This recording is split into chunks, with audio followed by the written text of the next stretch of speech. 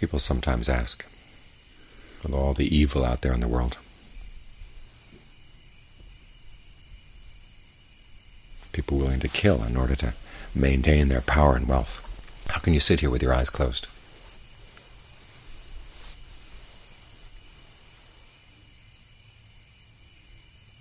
And there are two answers to that. One is we're not just sitting here with our eyes closed. We're training the minds.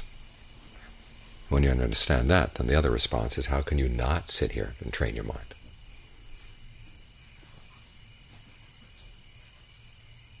Given all the bad examples out there in the world, all the dangers out there in the world, where else are you going to find the strength to maintain your virtue, to keep your goodness alive?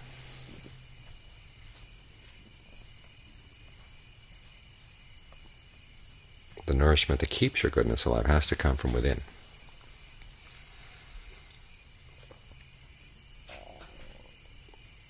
It's something that has to be independent of whether other people are good or bad.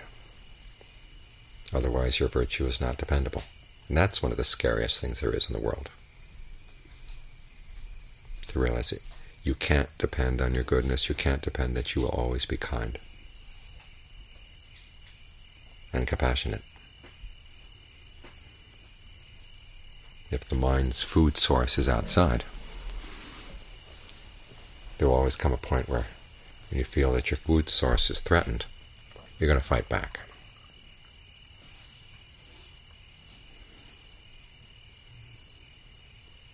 When your happiness depends on things outside, it's not only that your happiness can be threatened from outside, but your goodness can be threatened from within. Your determination not to harm anyone, not to engage in violence.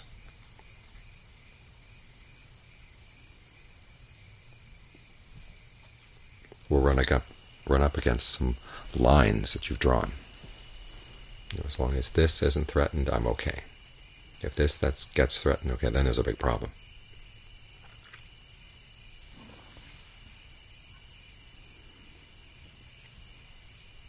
But if your happiness space is within, it's secure. Then your goodness is secure. And that's important. Because what do we have as our treasures in life? It's our own actions.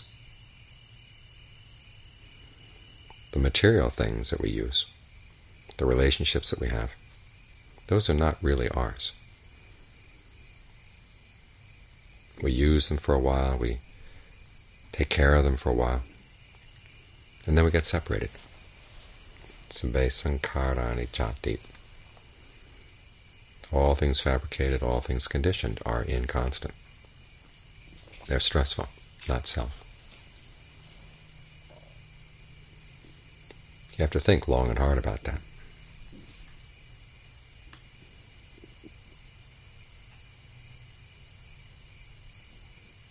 And then realize that the only way to respond to that is to try to find something of solid worth inside. And that has to be your top priority.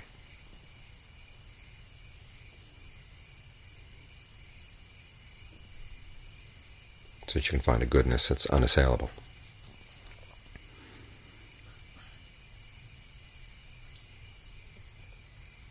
Something that's truly dependable, that nobody else can touch. Once you've got that, then you're safe. You can trust yourself as you go into the world and deal with untrustworthy situations, untrustworthy people, knowing that they can't touch what's really valuable inside. The world needs more people like this. If the Buddha had waited until the world was straightened out before he was going to go for awakening, he never would have gotten there. You try to work for awakening in the midst of an imperfect world. You're as generous as you can be, you're as virtuous as you can be, both because it's good for the world and it's because it's good for you.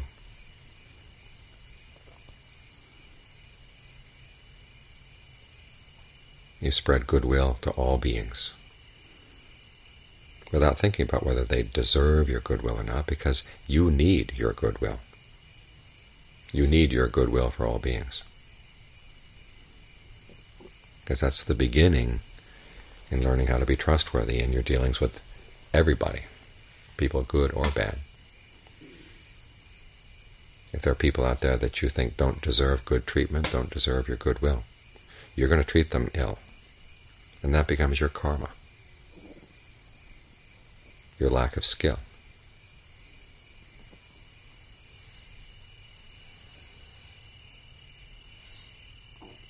Some people believe that you have goodwill for other people because everybody has Buddha nature, as if only Buddhas were deserving of your goodwill.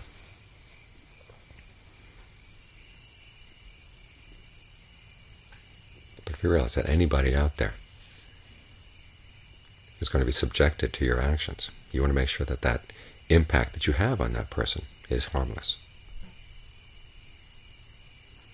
Only then are you safe.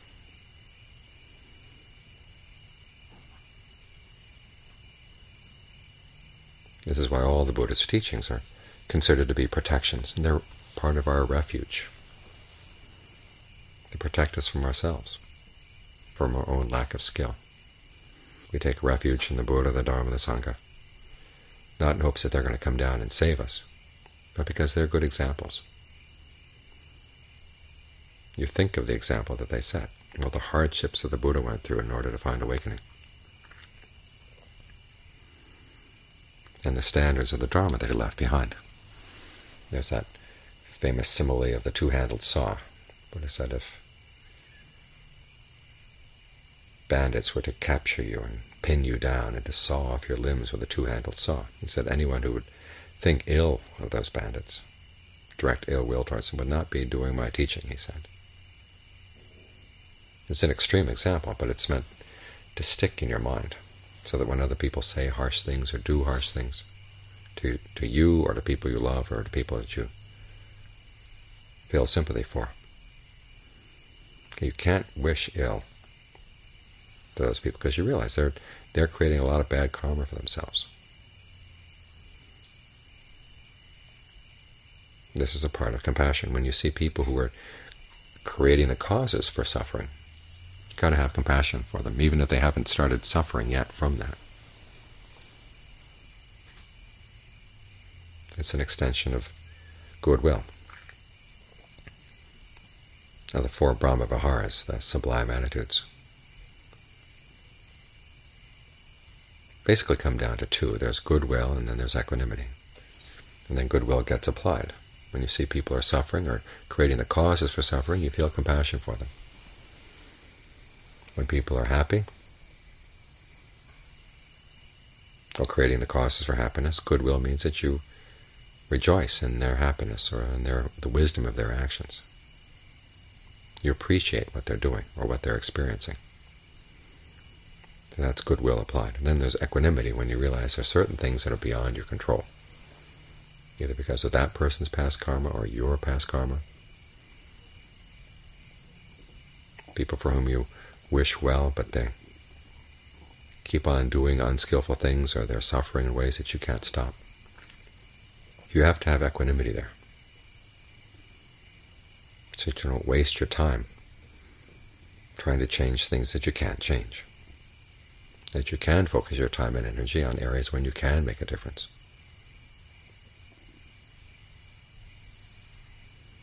So this is one of the reasons why we have that chat on the four Brahma Viharas every evening before meditation to remind us of what our motivation is in the practice. But we need those attitudes, both to help immediately in the course of the meditation and to carry into our daily life, to protect ourselves from our own unskillful impulses, own unskillful intentions.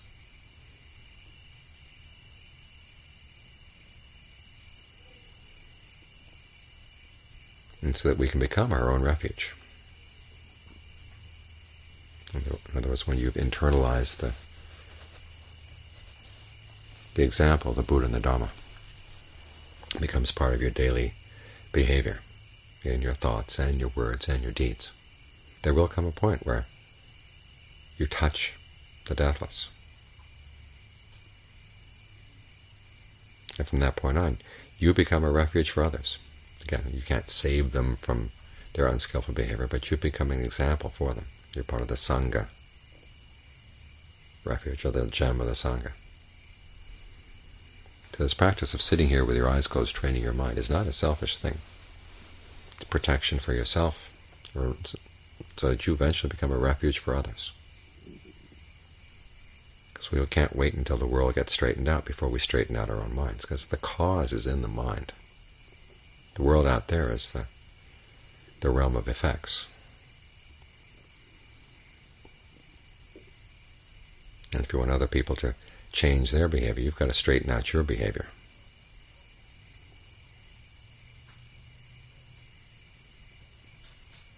You have to walk your talk so that your talk is compelling.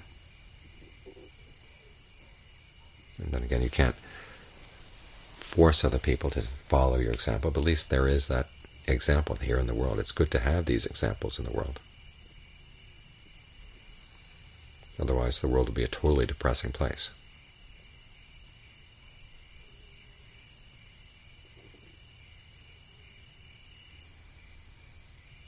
So as you remain true to the practice, you learn the truth of the practice. That's what's special about the Dharma. Unless you're true, you can't find the truth of the Dharma. And then you can embody that truth in your actions, in your words, in your thoughts. Then it becomes a kind of protection.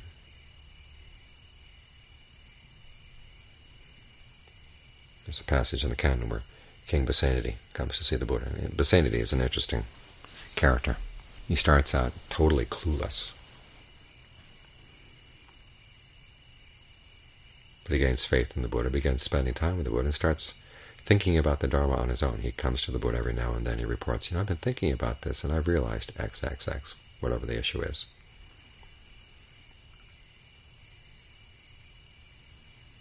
There's one point where he has been sitting in a court case. That was what kings did back in those days. They didn't have judges. The kings were the judges. He said he'd been sitting on a court case where people who were wealthy and have everything they should need are still willing to lie and cheat and kill in order to get more wealth. And he said, I'm sick and tired of this human race. People never have a sense of enough. And Buddha said, yeah, that's the way it is. You will never get people to the point where they have the sense of enough unless they start looking elsewhere for their happiness, aside from material things. There's another point where he says, you know, people who spend all their time building up armies, they don't really protect themselves if they're still acting on greed, anger, and delusion. They leave themselves wide open for suffering. And the Buddha says, yeah, that's right. Armies are not a protection. Your good karma is your protection. Your good thoughts, your good words, your good deeds, those are your protection.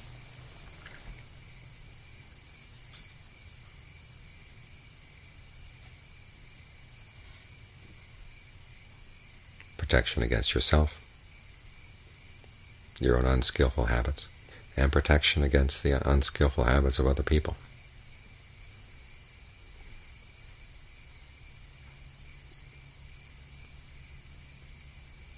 So as you meditate, you're creating protection. Protection for yourself, protection for the world. The best protection that a human being can do and create.